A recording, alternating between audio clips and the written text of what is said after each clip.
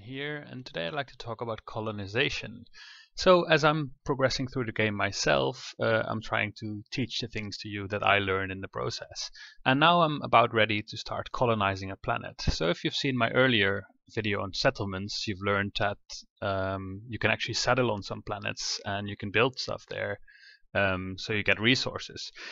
Um, so if you go outside of the uh, inner nine planets, you can actually settle on systems you discover. So like you can just fly anywhere and each system has sometimes a couple of planets and you can analyze them to see how habitable they are.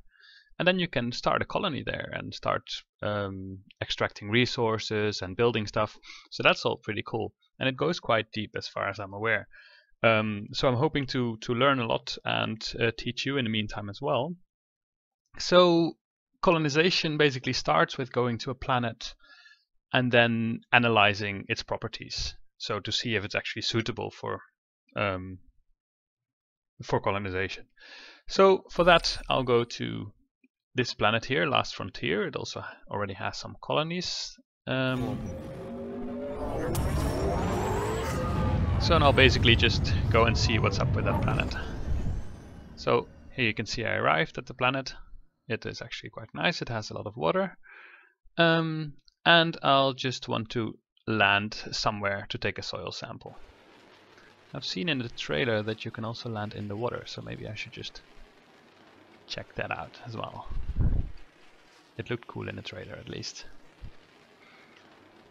So that's pretty cool about this game. You can just go to any planet and moon and you can just land on it. And at the moment it doesn't look that impressive yet, but I guess the, the graphics keep being improved as well. Now they hired a full-time artist, so that's gonna be awesome. So as you can see I've got my grav anchor off and the gravity is just pulling me down quite hard. So maybe I should actually start putting the grav anchor on a bit.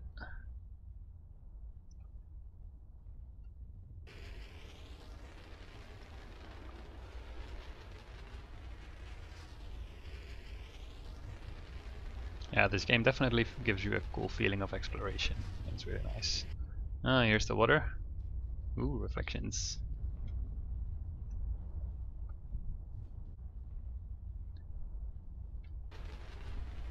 Let's see if this ship is waterproof.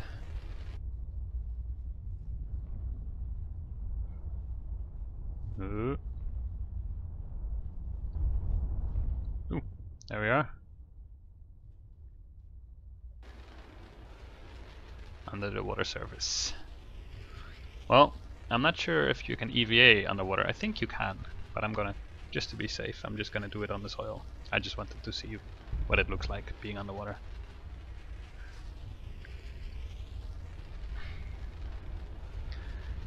So yeah, the process is basically you you land on a planet, you get out, you take a soil sample, you analyze it with your mining beam, and it, it tells you which um, which minerals are there on the planet in which quantities. Um, it tells you if the soil is fertile to grow stuff. Um, then you can also analyze um, other things like gravity and um, which uh, compounds are in uh, in the atmosphere if the planet has an atmosphere. Um, yeah, so the, you can you can analyze a lot of stuff.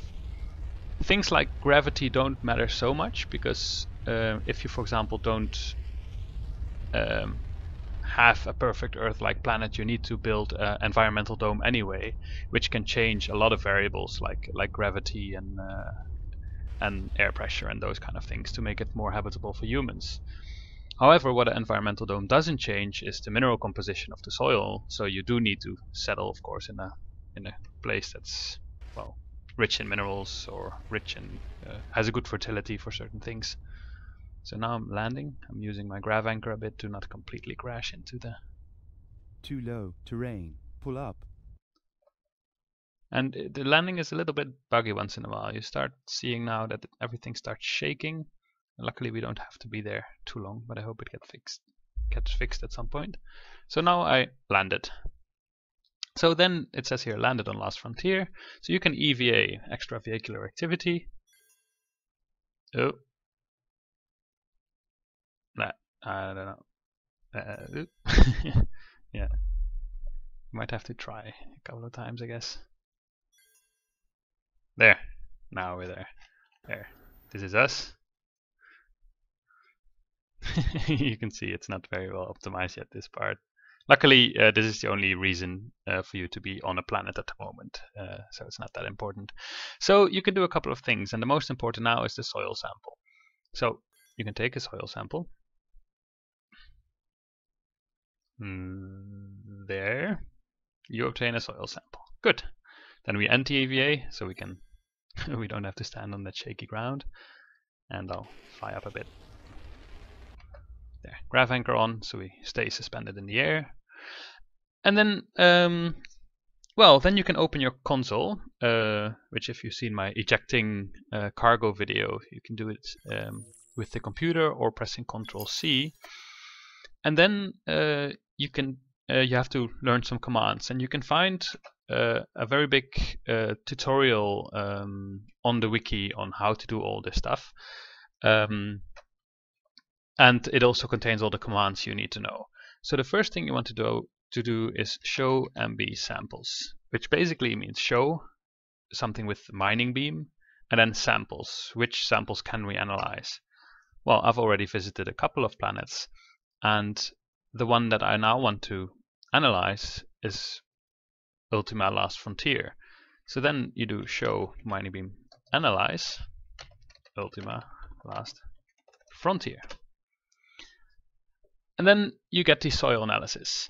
So it tells you the minerals. So this is actually quite a nice planet because um, the only thing that you cannot harvest from a planet is silicon. And if there is a high percentage of silicon in the soil, that means it's not uh, well, it's not a very productive planet because most of the time you're gonna come across silicon and you can't harvest it. So this one actually has 40% iron, which is very nice. Quite some aluminium, 30%, carbon 13%, and tin 10%. Uh, titanium, sorry. Uh, and then there is the, the geo score. So this goes from 1 to 5, and it basically tells you how concentrated these minerals are. If it's 1, it's spread all over the place, so factories that you make uh, are not very efficient uh, in in obtaining the materials.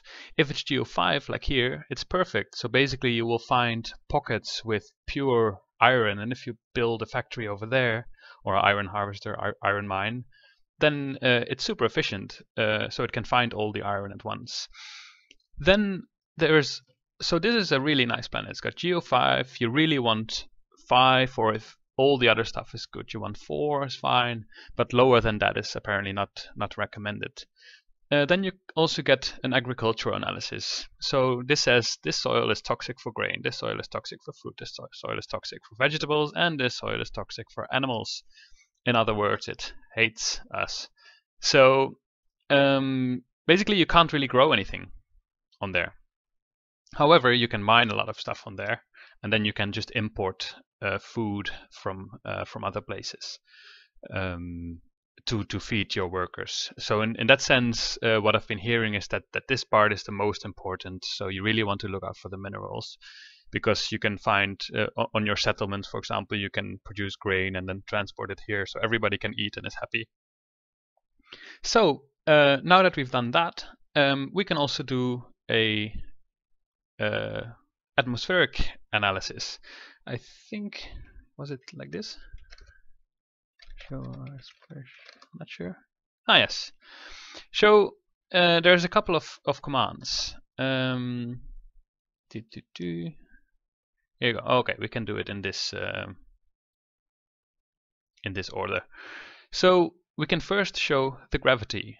So this is uh, measured in, in Earth-like units basically. So if you have so show GGG then it says that the gravity is 2.4. So basically, this planet you would weigh two and a half times as much. So it would be quite hard to walk around with uh, here. Um, and it's not very friendly to humans. So with the environmental dome, uh, it can change the gravity, so that wouldn't be a problem at all. Then you can do um, show RS pressure, which is um, the atmospheric pressure of the gases that are uh, surrounding the planet. So you can see um, what do we have in the atmosphere. And as you can see, I did it here, we have a pressure of 0.69. Um, I don't think any of these are really important at the moment because you can basically just build an environmental dome and, and change all these variables. However, one thing that's really important is show RS composition. Uh, so I'll type that in. So what do we have? We don't have any water here. We don't have. Uh, oh, we have a little bit of methane.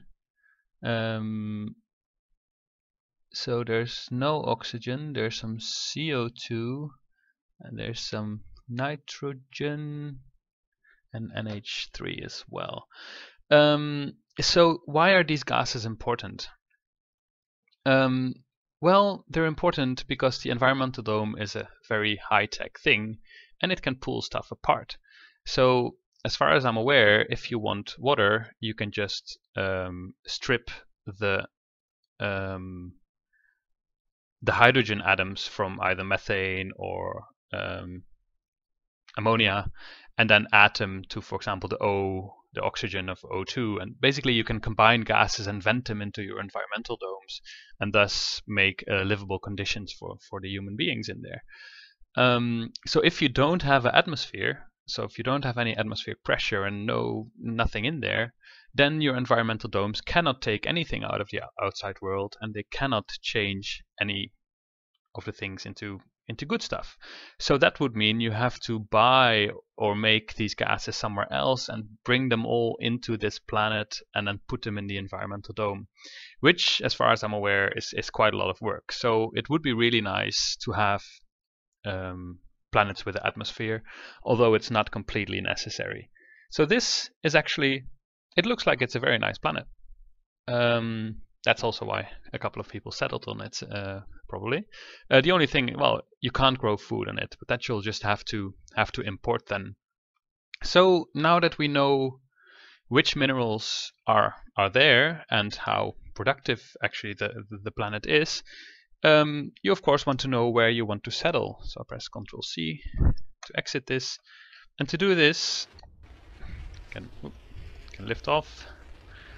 Um, this planet is huge, right? So yeah, how do you know where you want to settle?